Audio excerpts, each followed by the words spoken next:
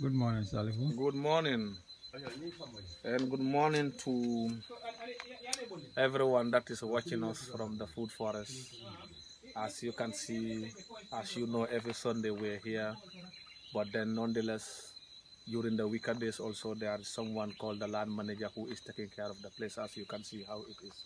Things are growing quite okay and everywhere looks clean. Underneath it looks clean, you know, because last Sunday we did all the, the weedings to remove the weeds in order to see what is growing and what we're planning. Today, we, we're doing a division of labor. Others are doing something and others are doing something. And me and my able driver, we are planting um, Beans. beans. We're planting beans as you can see them.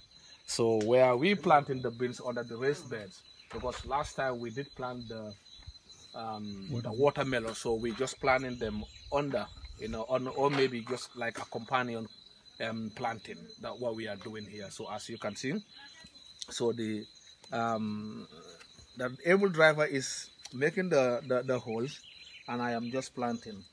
But in this case, you don't plant one. You only plant sometimes four or five, depending, because you never know how will they, um, how the performance of it would be.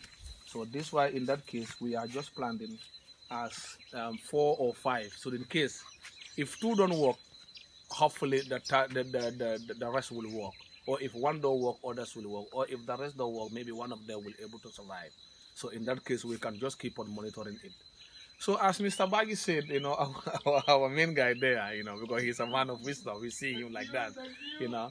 But then he always say planting a tree is one thing, but to take care of it is another thing, which is true. So this why we said we are here every time looking, going around to see what needs to be done. You know, what do we need to do today? What do we need to do today? But when we come, all of us, we know that we need to plant some of the seed that we have. So this is what we are planting, and some of them are planting oranges, grapefruit, different kind of varieties. From there, we're going to plant some more seed that we have,